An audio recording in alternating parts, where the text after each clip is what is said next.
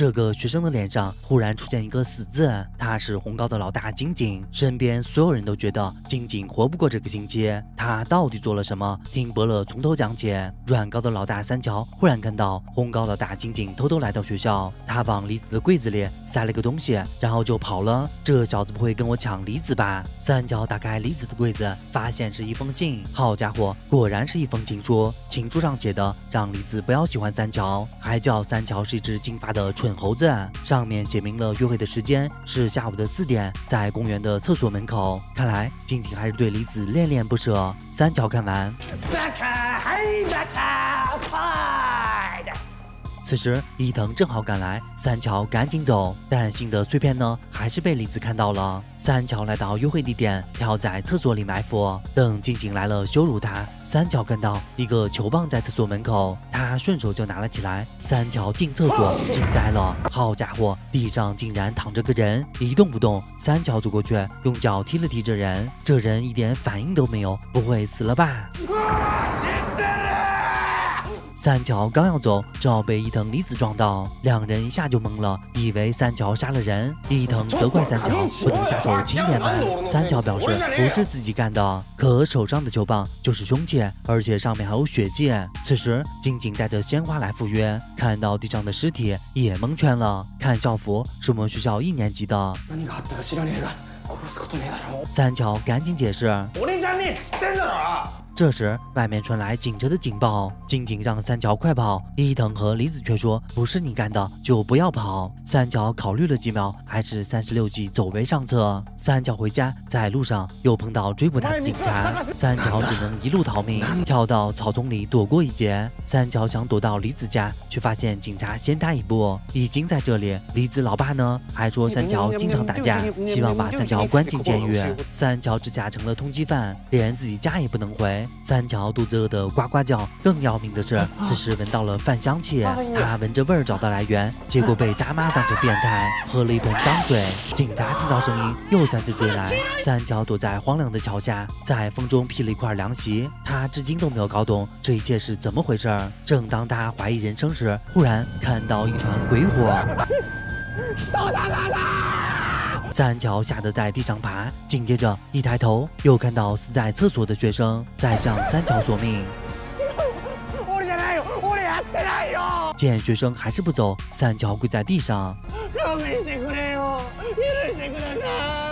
此时鬼火又出现了，三桥被吓得大哭了起来，还说以后再也不干坏事了。这时一阵嘲讽的叫声从耳边传来，他扭头一看，是静静和小谷他们，身后还站着那两名警察，还有死去的高中生。这三个人啊，都是话剧社的演员。三桥这才知道他被金井耍了，原来这都是金井的圈套。三桥总是嘲笑金井，但这次呢，金井赢了。金井摸着三桥的头，他开心的跟三桥合影。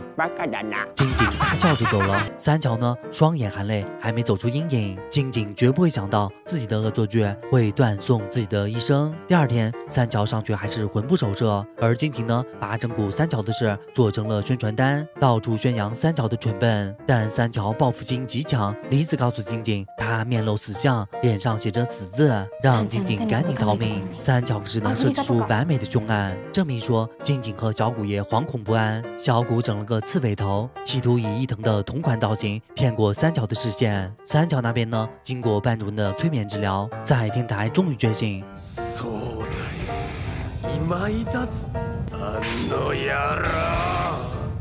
复仇计划正式开始。金井偏不信这个邪，他大摇大摆地走在路上，忽然一个花瓶坠落，差点命中天灵盖。他抬头一看，原来是三桥砸的。金井气愤地上楼想找三桥算账，结果他一上来，三桥已经瞬间移动到楼下，速度快如闪电。接着，金井在路边看到三个小孩在围着什么，他过去一看，我去，自己的照片被插在一坨狗屎上。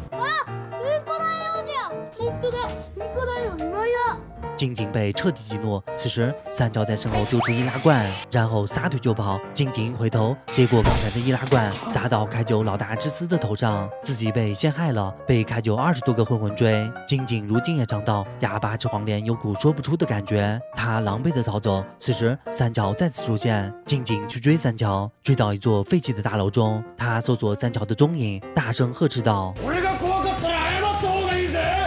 然后等他一扭头，才发现天哪，这门没有把手，这怎么开门？三桥呢，则在外面大笑。房间的门被动过手脚，静静已经出不去了。静静走到窗口一看，这可是四楼，如果跳下去，不死也得成智障。这时，三桥出现在隔壁。三桥表示：“我要是被欺负，就要百倍奉还，你就在这里等死吧。”静静也害怕了，憋足气，用最大的音量呼救。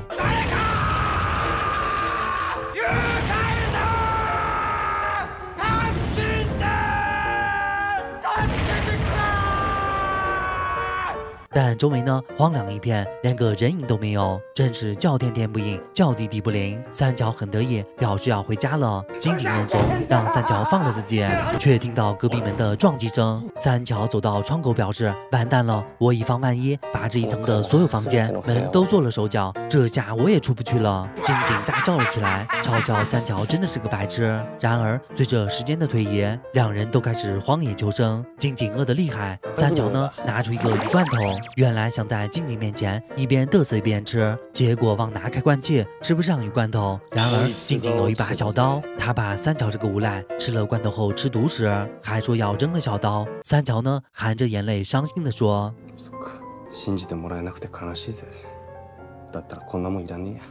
三桥直接把罐头扔到楼下，静静觉得太浪费了吧？而三桥又说互不相信还不如饿死。静静很羞愧。静静为了表示相信三桥，把小刀递给了三桥，结果没想到三桥唱起了小曲儿，把罐头又拉了起来，竟然绑着钓鱼线，静静都看懵了。三桥用小刀打开罐头。静静呢，气得大哭起来。眼看着罐头吃完扔掉，三桥大笑。这时，静静也不甘示弱，他掏出了口香糖，也嘚瑟的吃了起来，一口只吃一丢丢。三角也开始嫉妒他，三角见折腾的差不多了，拧开把手，悄无声息的回家吃饭。原来三角又骗了静静，而静静呢对此毫无所知。口香糖会带走嘴里的全部水分，静静嗓子干的要冒烟了。他梦到栗子变成天使来给他送水。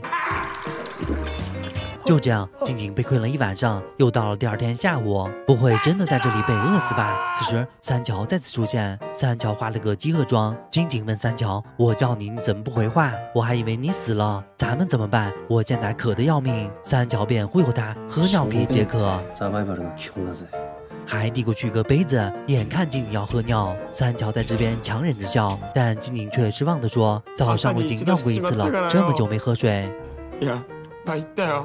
静静沮丧地靠着墙，三桥吃吃小吃。三桥又想到损招，对呀，鞋是牛皮做的，可以吃。静静听信了他的话，一口咬住皮鞋。三桥都笑尿了。这时，金子和明美在远处出现。金井使出河东狮吼，但对方完全听不清。而旁边的三桥呢，在跟他们挥手告别，两人直接就走了。接着，三桥把香蕉皮递给了金井，这个可以解饿。金井感动到哭，直接拿起来就开吃，一脸幸福的样子。